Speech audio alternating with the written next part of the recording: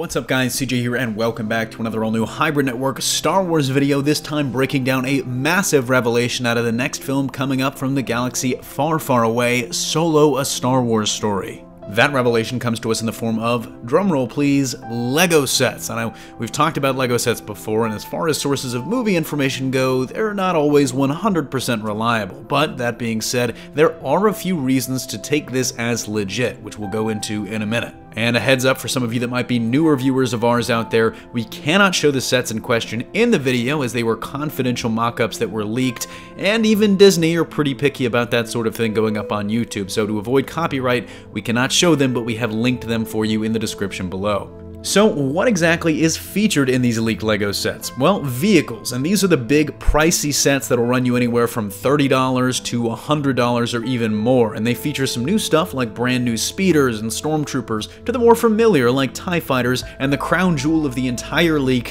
which surprisingly sits somewhere in between. That crown jewel is the Millennium Falcon itself, Han Solo's iconic piece of junk, the ride that he won from Lando Calrissian in a game of Sabacc, the ship that made the Kessel run in 12 parsecs, and that vehicle that can reach 0.5 past light speed. Only the ship that we see here is noticeably different than the one that we see in the original trilogy and even the new trilogy.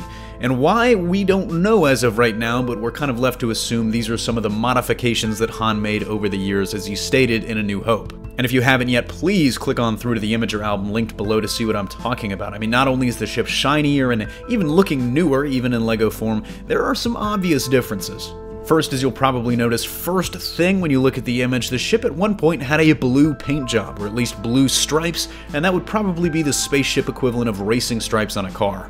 We see no evidence of that blue paint in the later incarnations of the Falcon, so that could have just been one of the many modifications that Han made after winning the ship from Lando, an event that many have speculated we'll actually see on screen for the very first time in this movie. But the other noticeable change is arguably bigger than just the paint job. If you look at the nose of the Falcon, it's noticeably not split into those two iconic mandibles, which it sports by the time of the original trilogy. And this actually is the source of a little bit of confusion for me, because canonically, the rectangular split in the nose actually served an in-universe purpose in the fact that this specific model of freighter, the Corellian YT-1300, actually pushed stacks of containers through space, which rested snugly in that little nose slit. As there's no split here, that either means that might be changed in-universe or Lando potentially made earlier modifications to the ship to cover it up or remove it, but either way, we'll probably see it changed back by the end of the film. The set looks like it includes Han and Chewie, of course, but also Emilia Clarke's character called Qi'ra and Donald Glover as Lando, suggesting that the core group of actors will probably spend at least a little time together on this specific ship.